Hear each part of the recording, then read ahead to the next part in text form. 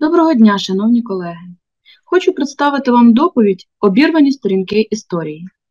Я назвала її так, тому що в ній намагалась викласти свої думки щодо постатей в українській офтальмології, які не змогли проявити себе повною мірою, зазнавши політичних репресій. Почавши працювати над цією темою, я навіть не усвідомлювала, наскільки великим тригером стануть для мене життєписи давно померлих людей. Десять років тому я могла б реагувати інакше. Але саме сьогодні, коли українці знову і знову зазнають тортур, знущань та вбивств від росіян, імена тих, хто вже був замучений ними раніше, звучать особливо болісно та значуще. На фоні цього особливо трагічним виглядає те, що повними та достовірними дані про наслідки масового терору комуністичного режиму не можуть бути з різних причин. Тобто розкопані мною біографії маленька вершина страшного прихованого айсберга. До об'єктивних причин такого стану речей відносяться ті періоди історії червоного терору, коли кати розстрілювали людей на свій розсуд, не турбуючись про оформлення протоколів чи списків жертв. Яскравим прикладом може бути громадянська війна 1918-1920 років колективізація та розкуркулення, початок німецько-радянської війни, дії військових загонів СМЕРШу, штрафні батальйони. Ці жертви були масовими і ніким не враховувалися. На жаль, імена багатьох видатних і тих, що могли стати видатними офтальмологів, загубилися в часі. Я ж почну свою доповідь. З короткого життєписа того лікаря, який таки встиг зробити неоціненний вклад в українську офтальмологію. Михайло Андрійович Левіцький, доктор медичних наук, професор, декан і проректор Київського медичного інституту, професор і директор Київського інституту вдосконалення лікарів, професор Київського медичного, професор Київського жіночого медичного інституту, видатний український офтальмолог, талановитий хірург автор кількох підручників та низки наукових праць. Дуже коротко, тезисно, народився 3 листопада 1871 року у місті Городище на Київщині. В 1895-му закінчив з відзнакою медичний факультет університету святого Володимира. Будував свою кар'єру, працював над докторською дисертацією, аж поки в 1907 році не був звільнений за політичну неблагонадійність оскільки виступав проти царизму. Пам'ятаємо, що в рашизму було і є багато облич. У 1909-му йому вдалося отримати посаду ординатора офтальмолога і захистити нарешті дисертацію. Тоді ж Левіцький розпочав наукову педагогічну діяльність у вищій школі, яку продовжував до 1941 року. Михайло Андрійович здобував заслужені звання, займав почесні посади в медичних вузах Києва, Паралельно після розпаду Російської імперії він брав активну участь у визвольних змаганнях, був у числі організаторів і активних учасників Всеукраїнської спілки лікарів. Першим почав викладання офтальмології українською мовою, розробляв українську медичну термінологію в області очних хвороб. Михайло Андрійович не відділяв практику від теорії, був блискучим хірургом, вдосконалив методику локалізації патологічних процесів на очному дні та їх проекції на склі, склав таблицю цього перенесення, розробив техніку добування цистицерка з ока, вдосконалив методику пластики на повіках за допомогою вільних клаптів шкіри та інші. Багато зробив для українізації навчального процесу. Велику увагу приділяв методиці викладання, публікував статті про реформу вищої медичної освіти, зініціював щорічні загальнонаукові конференції інституту. Професор входив до складу редколегії журналу Українські медичні вісті та був членом Ради медичної секції Всеукраїнської академії наук. До 40-річчя наукової, педагогічної та громадської діяльності професора Левіцького у 1936 році видано українською мовою праці очної клініки. А це був рік, коли після спланованого голодомору українізацію змінив потужний прес насильної адміністративної русифікації. У 1940-му вийшов Наступний том праць очної клініки за участі та під редакцією професора Левіцького. І знову цей том видається українською мовою. Це було останнє таке видання кафедри, останнє зусилля Левицького вберегти вирощену ним Українську національну офтальмологічну школу. У роки Другої світової війни він перебував в окупованому Києві, йому йшов 71 рік. Стан здоров'я вченого погіршувався, і в 1942-му Левіцький помер. Після війни кафедру очолив випускник Московського університету професор Архангельський, з кафедри витіснено українську мову, вилучено доробок Національної офтальмологічної школи, яку майже 30 років успішно розвивав вчений патріот професор Левіцький.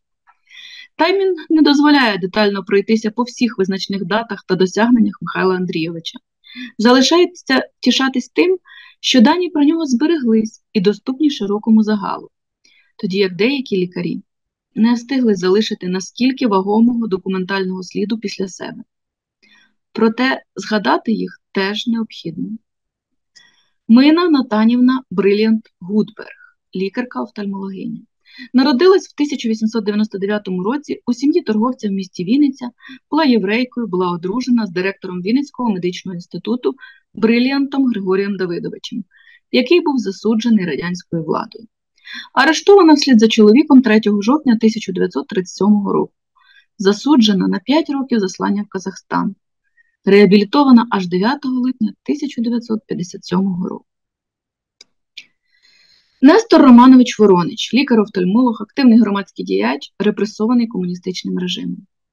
В 1889 році народився в селі Товсте Скалотинського, нині Гусятинського повіту. Вчився у Відні, служив лікарем в австрійській армії, у Відні ж і працював. Прошу звернути увагу на те, що це далеко не єдиний медик, який навчався за кордоном.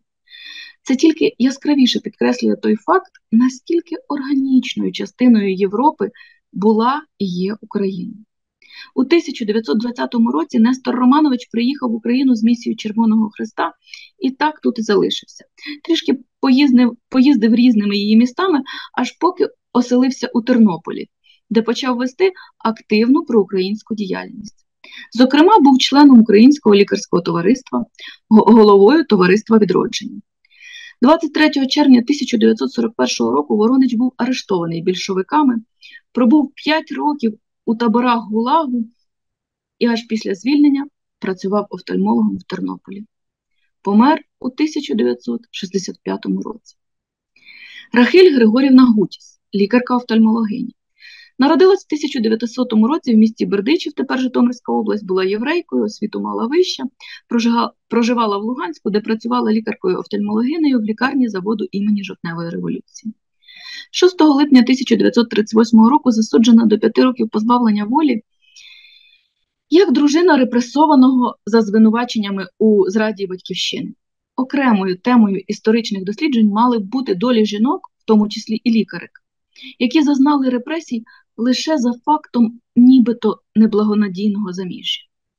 Реабілітована Рахіль Григорівна в 1956 році.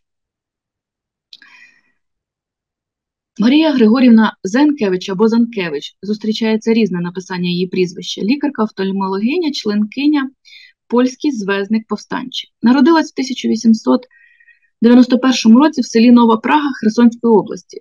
Мешкала у місті Володимир Волинський, нині просто Володимир. Була полячкою за національністю, лікаркою офтальмологинею міської поліклініки міста Володимир Волинський. Заарештована 12 січня 1945 року за звинуваченнями у приналежності до тієї ж таки політичної націоналістичної організації Польський Звензик повстанче, армія Краєва. Е, І лише в червні 47-го року справу було закрито за відсутністю доказів. Це жахіття, два з половиною років тортур і знущань за злочин, який неможливо довести. З-під варти була звільнена, згодом реабілітована. Григорій Іванович Ковінський, лікар-офтальмолог, народився в 1885 році в селі Харківці Перятинського повіту на Полтавщині. Українець освіта вища, проживав у місті Бердянську Запорізької області. 3 травня 1940 року засуджений до 5 років позбавлення волі, реабілітований в 1957 році. Олена Мисечко Копчак, лікарка-офтальмологиня, українська громадська діячка в Словаччині. 18 жовтня 1935 року народилася в селі Вуйковичах на Волині, в родині розстріляного гестапівцями священника. А в 1944 році її матір на декілька місяців за заарештовували уже більшовики. У 1951 році пані Олена вступила до Кременецької медичної школи. І, хоч закінчила її на відмінно, та як дочка українського націоналіста не отримала рекомендацій для вступу до інституту, а натомість була заслана медсестрою в Казахстан. Неповних два роки працювала в полкому степу за 45 кілометрів від цивілізованого поселення, звідти втекла на Донеччину до сестри на Західну Україну їхати боялась, і згодом там, е, в тодішньому Сталіну, вступила до інституту. Стала офтальмологом, одружилась і виїхала до Словаччини. Займала активну проукраїнську позицію, зокрема як членкиня Союзу русинів українців, об'єднання Тарасова України. Федір Іларіонович Лищук, лікар-офтальмолог, народився в 1890 році в селі Погребище, тепер Вінницька область. Українець, освіту мав вищу медичну. Проживав у місті Конотоп, працював лікарем Конотопської міської лікарні. Був арештований 10 лютого 1933 року, звинувачений у контрреволюційній діяльності, проте справа була закрита.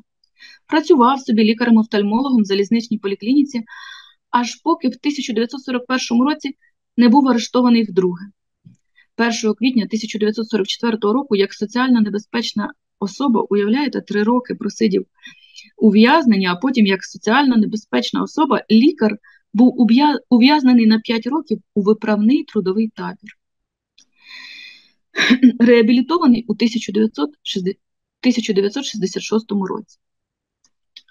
Ганна Андріївна Поліщук, лікарка-офтальмологиня, науковиця, активна учасниця українського громадського життя. Народилась 17 червня 1941 року у місті Остріг Рівненської області, у сім'ї оперного співака Андрія Поліщука, в'язня сталінських концтаборів. Разом з сім'єю була депортована в Магадан, де й закінчила середню школу. Лише згодом їй вдалося повернутися в Україну, вступити на лікувальний факультет Львівського медичного інституту і стати офтальмологинею. Була авторкою 15 статей з проблем офтальмології, членкиною редколегії збірника питань практичної медицини, членкиною народного, народного руху з часу його створення, просвіти з часу її відродження та Українського лікарського товариства з 1990 року. Володимир Тутуруш, лікар-офтальмолог, український громадський діяч. Один з небагатьох, чиє фото збереглося до сьогодні. Народився 27 липня 1928 року у місті Косів у сім'ї Гончара. Здобув медичну освіту в Станіславському, пізніше Івано-Франківському медичному інституті. Працював у Косові. Заочно аспірантуру закінчив в Інституті очних хвороб імені Гіршмана в Харкові. Написав дисертацію нариси історії офтальмології в Галичині. Було б цікаво почитати. Але з політичних мотивів звинувачення в 1975 році в українському буржуазному націоналізмі його не допустили до захисту. Не зламався. Був депутатом другого і третього демократичного скликання Косівської міської ради, членом правління районного товариства просвіта імені Тараса Шевченка, членом правління Товариства Гуцульщини. І вже зовсім обірвані дані мені вдалося відшукати про Памфіла Блонського, лікаря-офтальмолога, мешканця міста Звенигородка, що на Черкащині. У 1933 році лікар Блонський вже був пенсіонером, проте він не міг залишатися осторонь від того, що відбувалося з селянством від голодомору.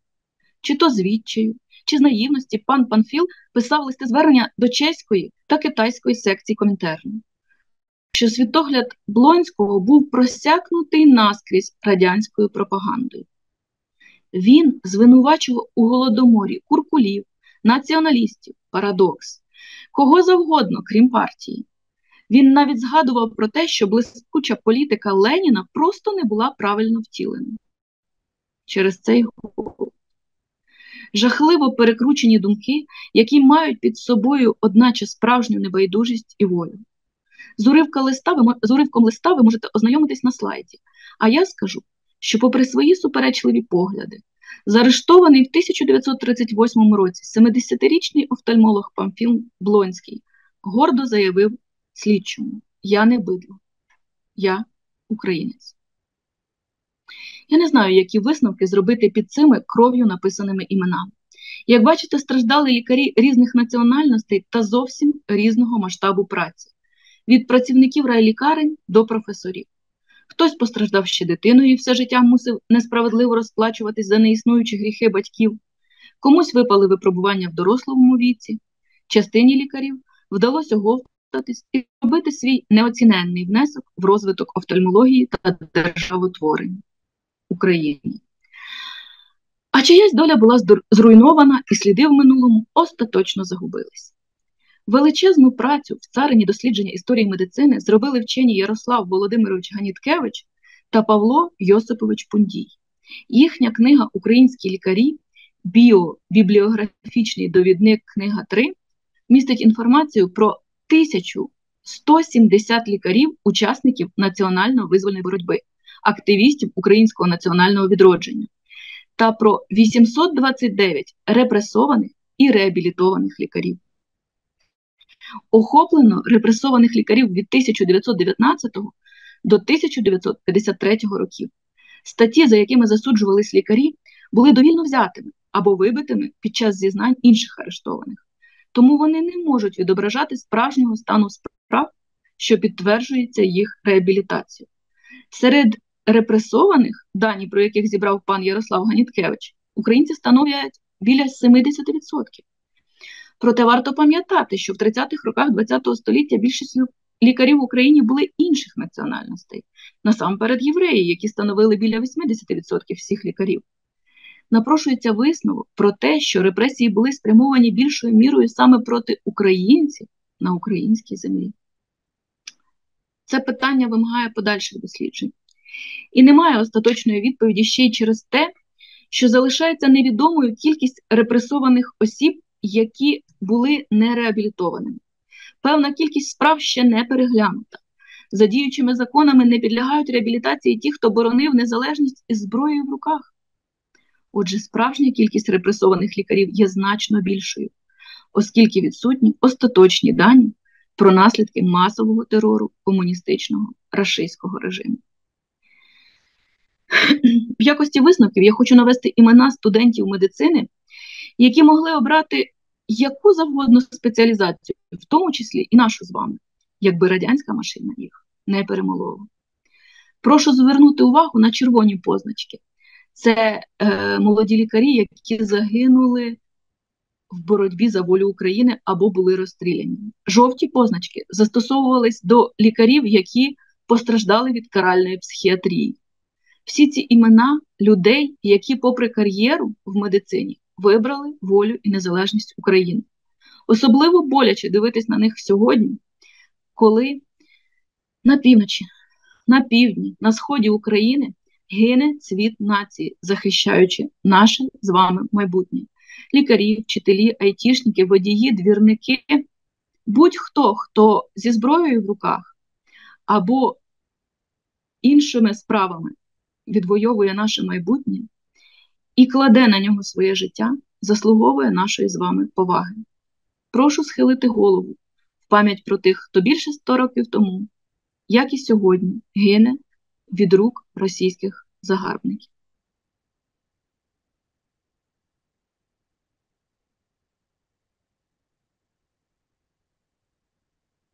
Дякую за увагу.